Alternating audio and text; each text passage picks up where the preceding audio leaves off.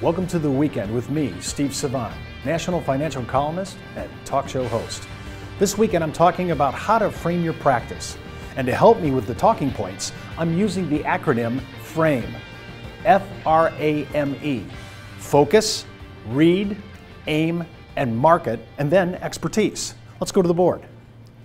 When I'm looking at framing your practice, the reason is, is because we've seen so many people coming into our practice right now, whether they're bankers, whether they're registered reps from security or property casualty agents, and especially medical agents coming in after the new legislation for healthcare. When I'm looking at the acronym FRAME, the first word I want to talk about today is focus. And focus is not what you think. People think that focus is looking at something like a laser beam, concentrating on it. But actually, focus is much like my glasses. I go into the optometrist and every year he looks at my eyes, but it's all based on trial and error. He checks for my peripheral vision. Am I seeing clearly on the very outskirts of my eyesight?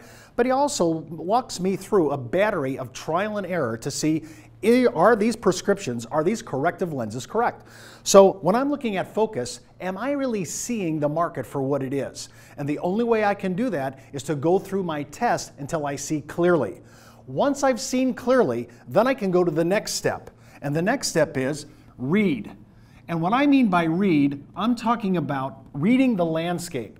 The financial services is so such a huge industry, and there's anything from fee-based planning to insurance to financial uh, uh, uh, advice, all kinds of technical issues of selling commodities, people who just deal in options. It's a huge market. So once I know I'm seeing correctly, I want to see all the options out in the market.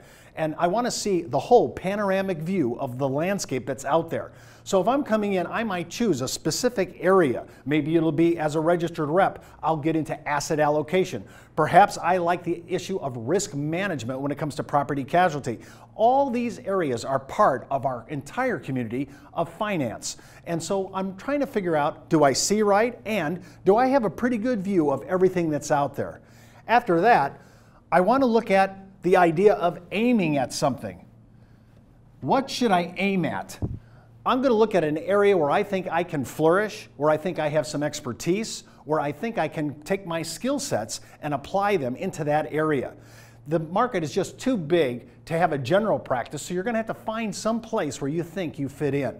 And once I do that, I start aiming at it. For myself, almost 30 years ago, I was a full securities rep, Series 7, Series 24, life insurance. But what happened for, to me was I was looking for a second to die carrier. There was not that many back in the day, and I couldn't find anybody to really help me with life insurance and understand it.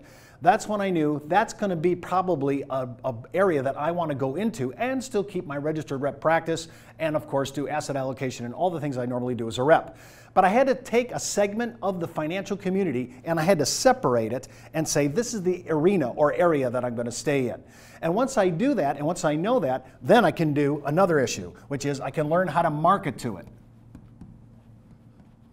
Once I understand where I'm going to play, I'm going to look at the marketing area for this, and then I'm going to play to it. Now, it may be supported, especially today, with internet video. It could be supported with social media communication like tweets, blogs, articles, mini articles, sometimes even white papers. It can work all these areas and make them integrated between your communication and your videos. I want to look at the area and look at my area of insurance. So in my, uh, as an example, I chose life insurance and annuities, and sometimes I do a subset of disability and long-term care. But in my area, I'm dealing in defense. I'm in the financial community of defending something. In insurance, it could be defending income from taxation. It could be indemnification with life insurance. It could be dealing with inheritance and transferring assets to the next generation. And the last thing I want to do when I'm looking at how should I make this work, I got to pick an area of expertise.